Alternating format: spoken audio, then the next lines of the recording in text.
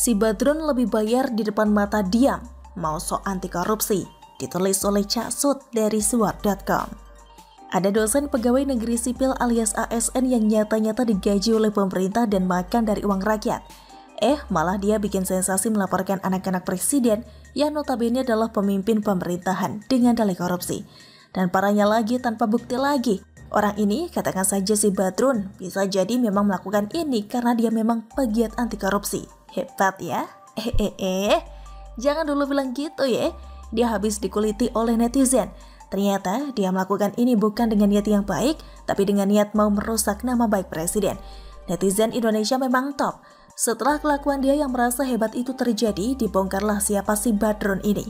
Eh, kamu ketahuan ya, ternyata simpatisan partai sapi? Eh, mau nyangkal. Sebetulnya bagus juga ada warga negara yang mempunyai kesadaran dan berani melaporkan kasus korupsi. Masalahnya ada buktinya enggak? Masalah lain adalah orang ini yang katanya akademisi dan dosen salah satu universitas negeri di Jakarta, kok diam saja saat ramainya berita lebih bayar di DKI? Ke mana saja dia? Kok diam saja? Banyak kasus lebih bayar di DKI yang mengindikasikan terjadinya korupsi. Nih contohnya, satu, kelebihan pembayaran gaji atau TKD atau TPP tahun 2020 senilai 862 juta 783.587 rupiah. Dua, kelebihan pembayaran pengadaan penambahan daya listrik PLN pada kegiatan pengelolaan pompa stasioner, pompa mebel, bangunan rumah pomda, serta rumah jaga senilai 70 juta 301 ribu rupiah. Dan tiga, kelebihan pembayaran atas dua pembangunan sistem pengelolaan air limbah domestik pada Sudin SDA Kabupaten Administrasi Kepulauan Seribu senilai 1 miliar 590 juta 423 ribu 823,40 rupiah. Dalam dokumen BPK dijelaskan permasalahan kelebihan pembayaran atas dua paket kegiatan, yakni kelebihan pembayaran atas pembangunan SPALD Pulau Sebira senilai 952 juta 231.620,16 rupiah dan kelebihan pembayaran atas pembangunan SPALD Pulau Kelape 2 senilai 638 juta 192.203,24 rupiah. Di dokumen yang sama, Kepala Dinas SDA menyatakan sependapat dan akan menindaklanjuti temuan pemeriksaan tersebut dengan menyetorkan ke kas daerah.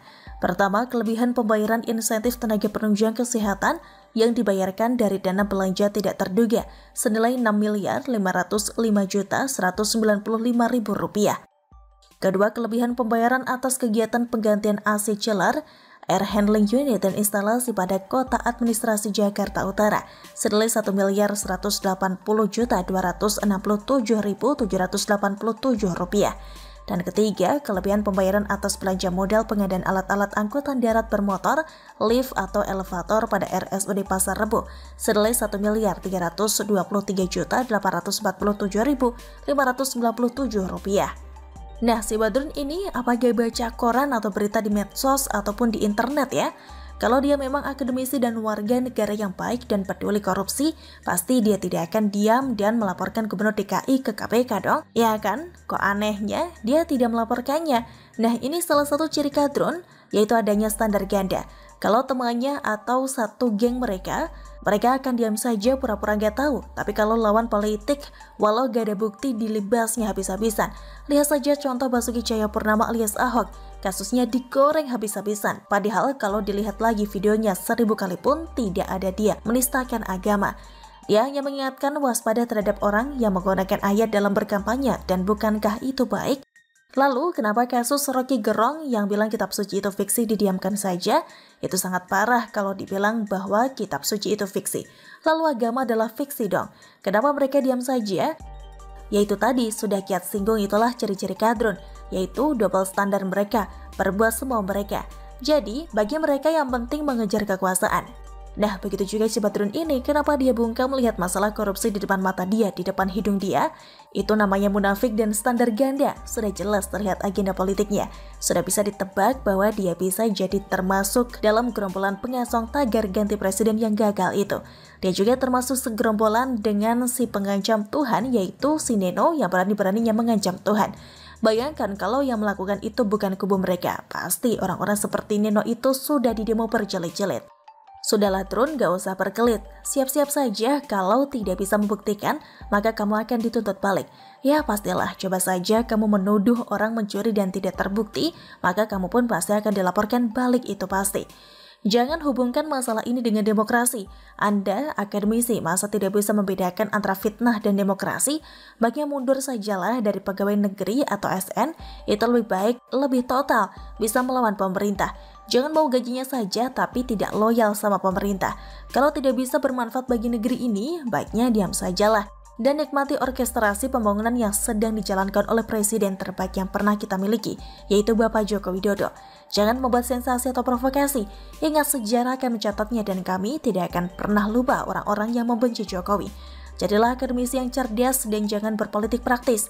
Ingat, jejak digital akan merekam setiap langkah dan tindakan. Jangan berkelit dan playing victim. Cak bagaimana menurut Anda?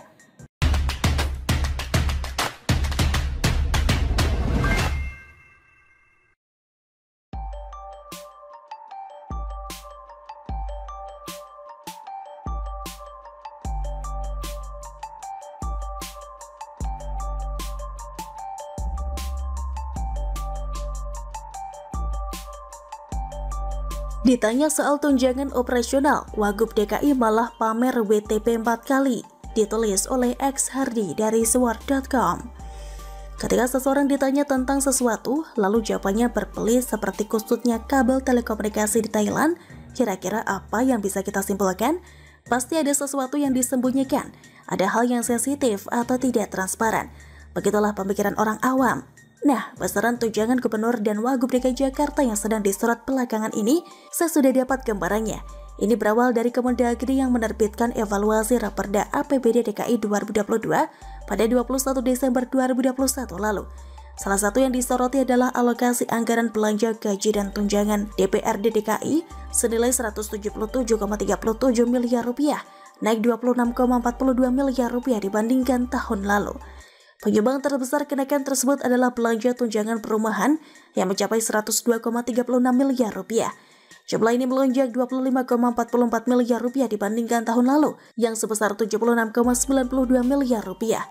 Bicara soal kenaikan gaji, tunjangan, dan lain-lain untuk pejabat, biasanya akan ditanggapi sinis dan negatif.